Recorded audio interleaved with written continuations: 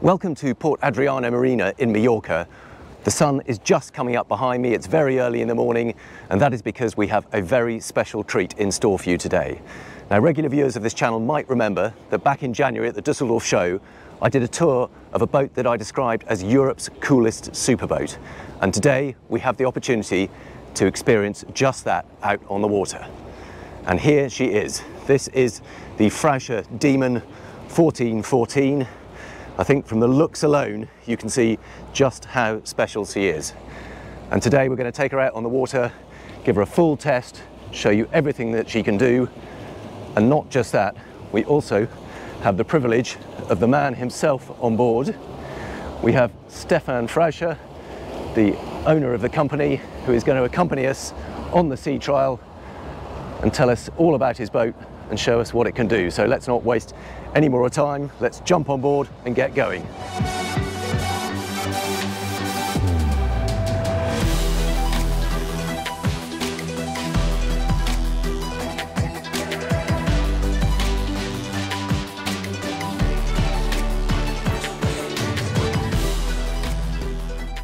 So Stefan, tell me a little bit about the company. When did it mm -hmm. start? The company started in 1927. My grandfather uh, founded it. And yeah, afterwards it was my father and my uncle, and now it's me and my brother running the company in Austria. So it's and an Austrian company? It's an Austrian company. Based on the lakes there? Based then? on the lake, yeah, right. based on the lake. And uh, we're running different companies also at the sea, one here in uh, Mallorca, uh, one in the south of France, and also one in Miami. Fantastic. And what makes your boats so different and so special? Uh, I um, mainly mainly three I think three points. Uh, one is the design. Yep. It's a really clean and uh, uh, design uh, uh, which is different to everything else which is on the market. Then the next thing is I think uh, you will see innovation is in every of our in each of our products. And uh, then uh, with Frauscher you find also this family spirit. This is very important to us and it is inside the company how we treat our uh, employees but also uh, a buyer of a Frauscher enters the Frauscher family and, uh, and we are not a Chinese or uh, sure. big company, it's just still family. And who designs the boats then? We work with different designers.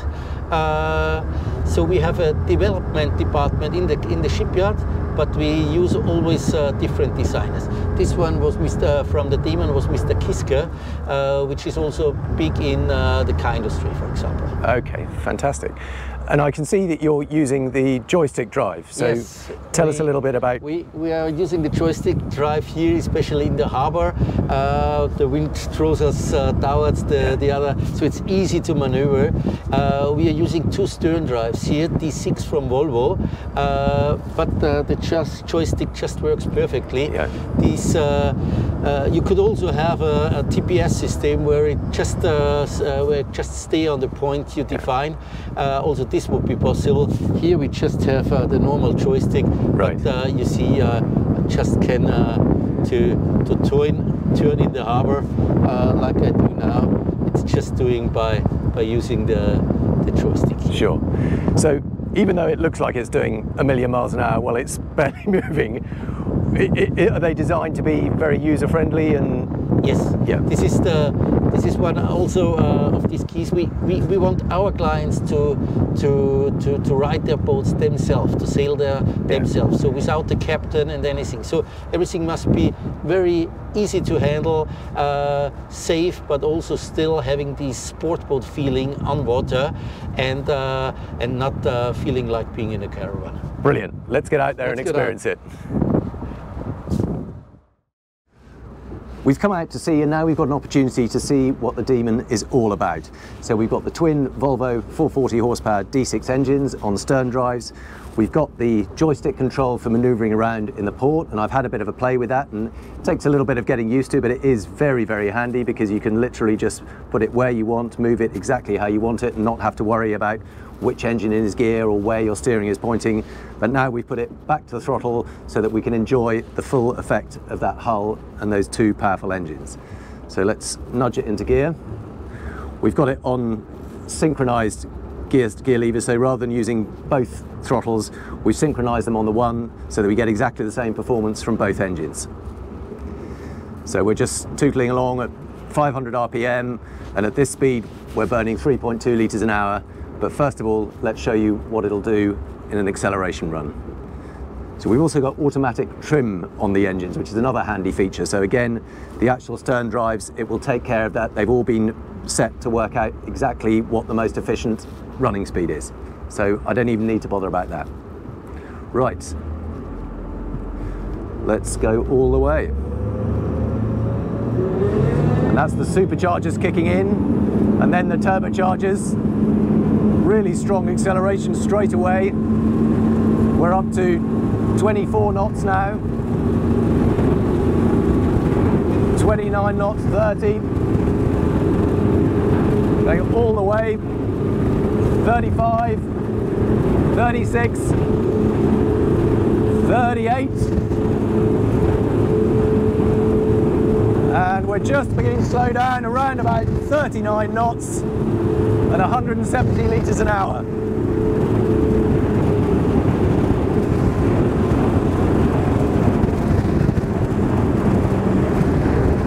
So that just gives you a little bit of an idea of the straight line performance. We've got really solid acceleration from first the supercharger and then the turbocharger and then it takes it up to about 39 knots, probably do about 40 knots if the hull was a little bit cleaner. We've got a tiny little bit of fur on the drives in the hull so it probably takes a knot off or so but you can see good solid performance. And what you do notice is we've got these bolster seats and you can either have them up like this or tucked down so you can get right down behind this plexiglass screen. There is a little bit of distortion through the screen simply because of the very steep angle and that's all part of the styling but you do get nice protection when you're sat down and also really comfortable bolstered seats or you can flip this up and then you get better vision over the top down that lovely long foredeck which really does look stunning and you get a better view, but you do then get some of the wind coming into your face. But frankly, when you're out in Mallorca on a beautiful day like this,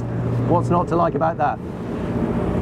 So now let's just take it to a sort of comfortable 25 knots and see what the handling is like. See how well it turns, how quickly, how responsive it is. And hopefully my cameraman here will be able to hang on well enough for that.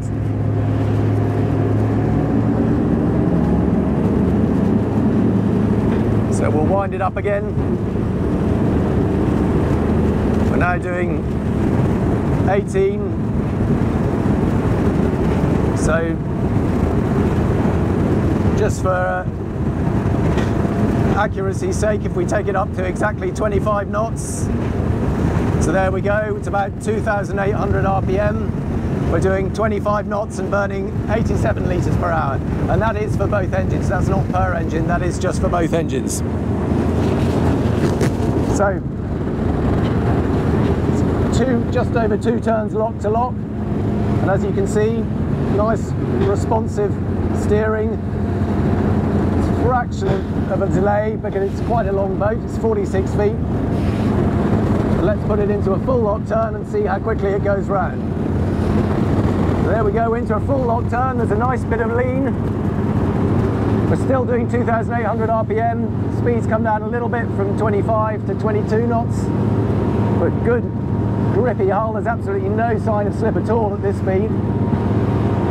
And there we are. We're just coming round to complete the turn. It's probably about five boat lengths, I would say. So it's not like a really tiny little agile boat. It is a big cruising boat, but nice grippy hull. Let's try it a bit quicker. Go all the way up. Okay, and now we're going to turn to starboard. To go turn around to starboard. Look at that. Tracks around.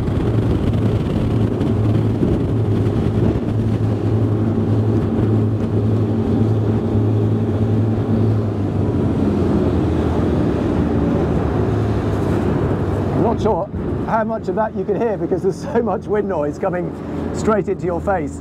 that it's hard to actually talk over it or know what the microphone is picking up. But really what I wanted to demonstrate was that you can do a full speed flat out turn and it will lose, scrub off some of the speed. It takes it down to about 32, 33 knots. But what it does feel is very secure and very grippy. Now the other thing that I've noticed, I've had a chance now to drive both boats and even though it's exactly the same hull and exactly the same engines, they do feel surprisingly different.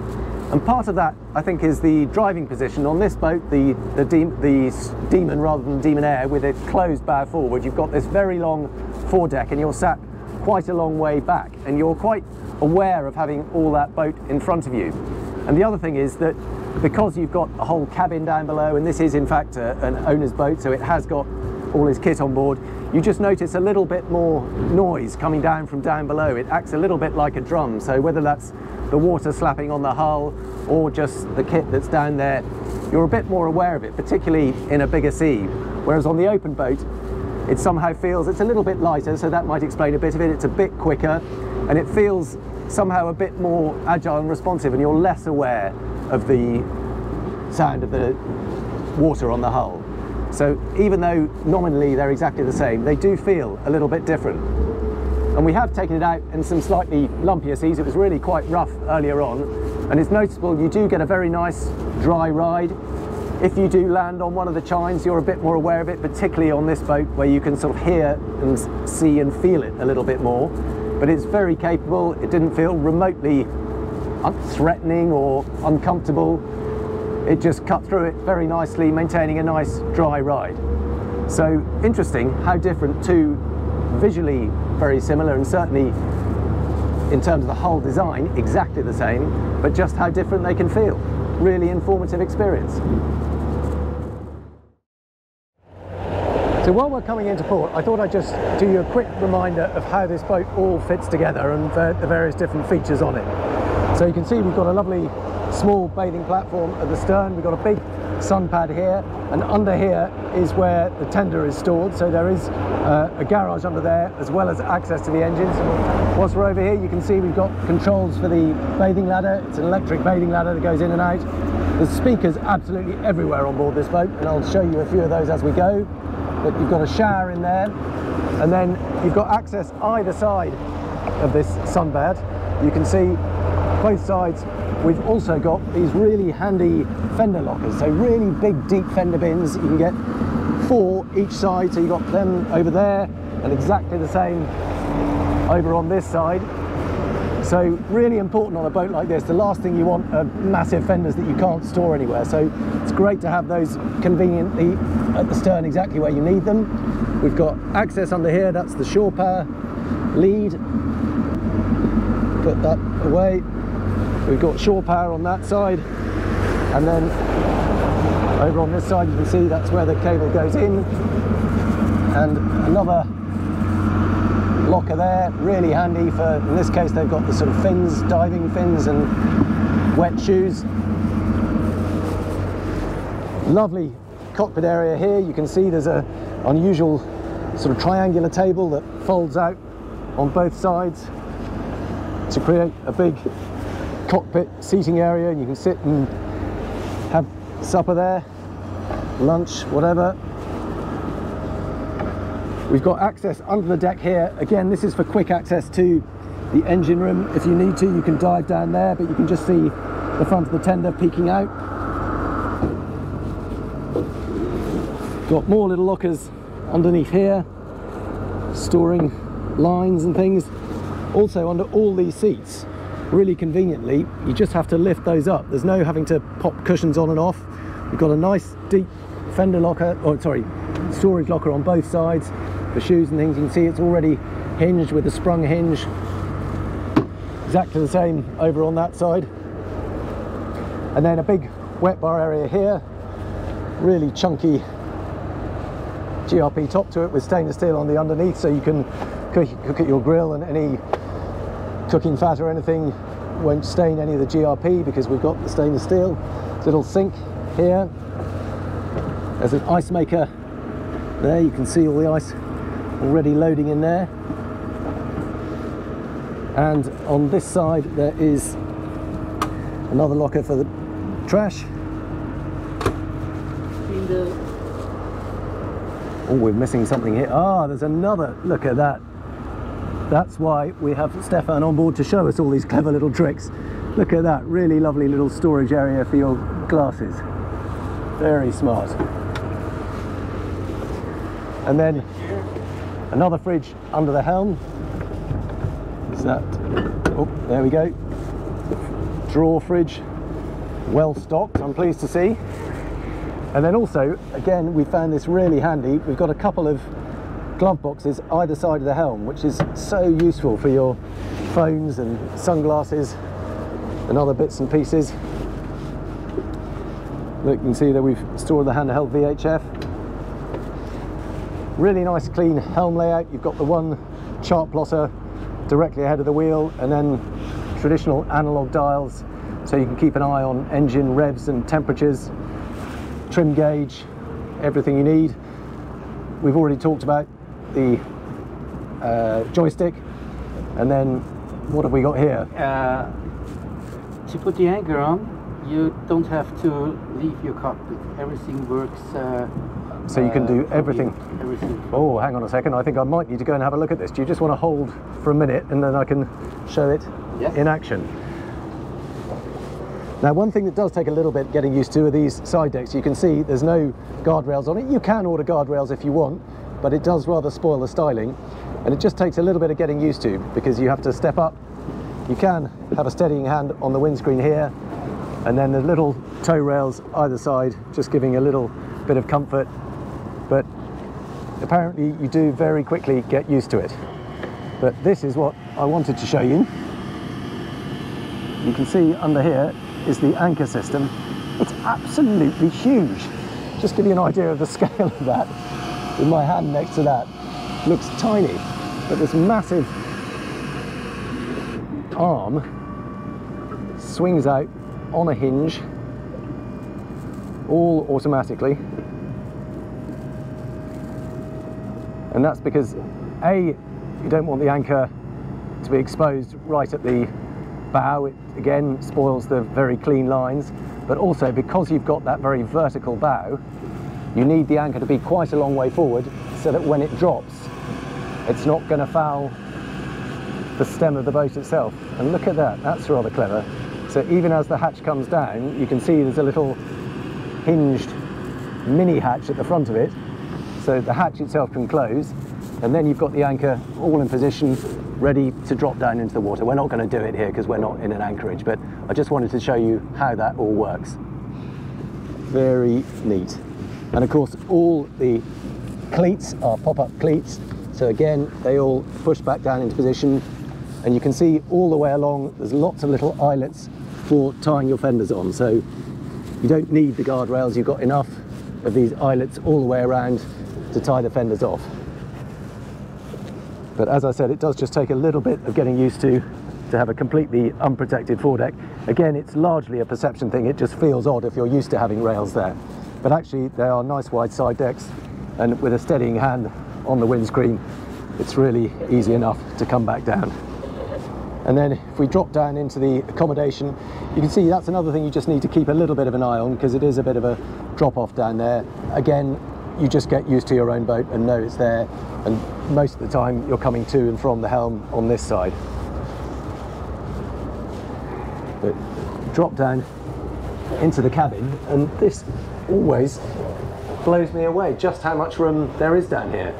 Obviously you, use, you lose the open seating area of the Demon Air but what you get in return is a lovely bright cabin really nicely lit as well both in terms of natural lighting from these three overhead hatches and these LED strip lights. It's a really cool effect. So nice and sheltered down here. There's a big dining area that also drops down so you can make that up into an extra double bed in the forward section there. We've got a big TV on the bulkhead on this side and then a galley area over here. So as well as having that wet bar out in the cockpit, you've got a decent galley with another pull-out fridge there. Lots of storage underneath and overhead. So there is plenty of storage. You've got a two hob grill. And then, even more surprisingly, behind this door, there's a really big day head. It's actually more than a day head, it's a proper bathroom. So you can see it is effectively a, a, a wet room with a slatted teak floor to let the water drain away. There's not a separate curtain or screen there for the shower, but it's so big that it's you're really not going to get too much water coming out from the shower into the loo and sink area, which is over on this side, simply because it's big enough for that not to be a problem. But really nice to have a big day head slash bathroom on a boat of this size. And then behind this other door, there is the main cabin, which again, put the lights on, actually a very decent space. It's a big double bed down there, at least king size, a couple of hatches overhead giving you a little bit of air and natural light. But actually, it's pretty good headroom down here. I can easily sit on the bed, no problem at all, plenty of clearance, lots of cupboard space all around. You can see surrounding the bed on both sides, nicely underlit. Quick look, you see huge big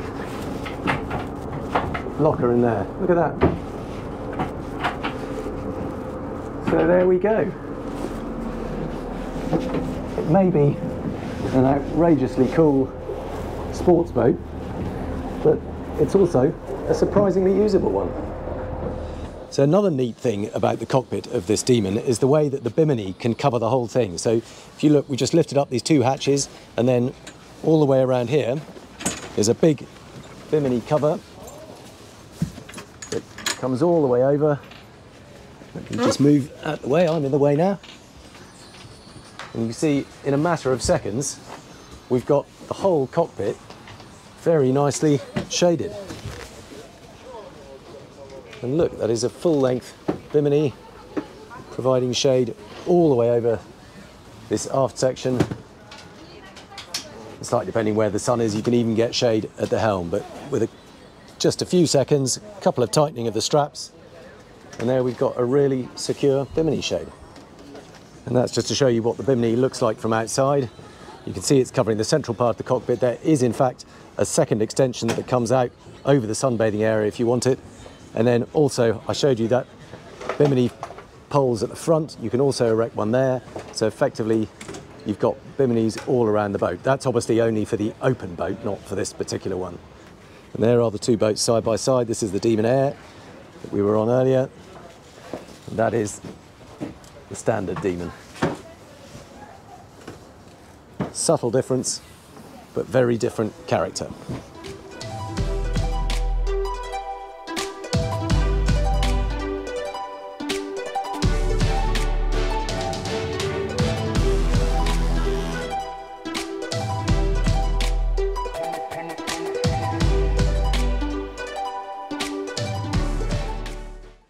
I started off this review by describing the Frauscher Demon as Europe's coolest superboat.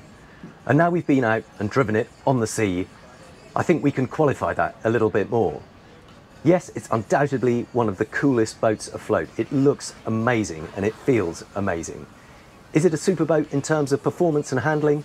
Well, that depends. You can put huge petrol engines in, and they have done that for one customer, and it will do 70 knots. Would you want to? I don't think so. For me, this is a much more usable boat. You've got standard Volvo diesel stern drives, it's easier to look after, it's easier to handle, it's fast enough for anything you really want because frankly over 40 knots tends to get a bit uncomfortable and a bit scary. But also you've got the ease of joystick control, you've got fuel efficiency and easy maintenance. Now, Frauscher describes himself as engineers of emotion and to me I think that sums it up perfectly. It clearly feels like a boat that has been designed and built with passion. And from a point of view of the owner, when you drive it, you feel that too. It's a boat that really tugs at the heartstrings. So I hope you've enjoyed this sea trial of the Frauscher Demon. Do please let me know what you think of it in the comments below. Thank you for watching, and I'll look forward to seeing you on our next test.